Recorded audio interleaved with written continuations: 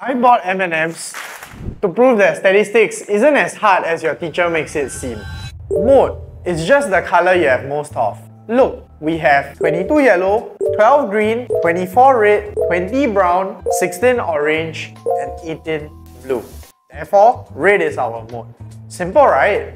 Now, median. Let's take a look at odd numbered first. Imagine there are 61 people arranged in ascending order of height. The height of the 31st position will represent the median. Now, let's do even number of people.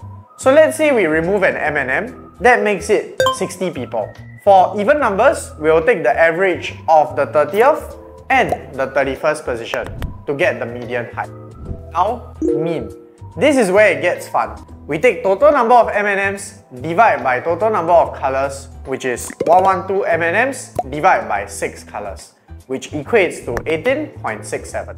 So, we should average 18.67 per color. But look, some colors have more, some colors have less. This is called standard deviation from the mean. Your O-level questions love testing where mode is greater than the median and the mean, which represents skew left. When mean is greater than median and mode, that will be skew right. Wanna master your prep for O-levels? Follow Epsilon Education.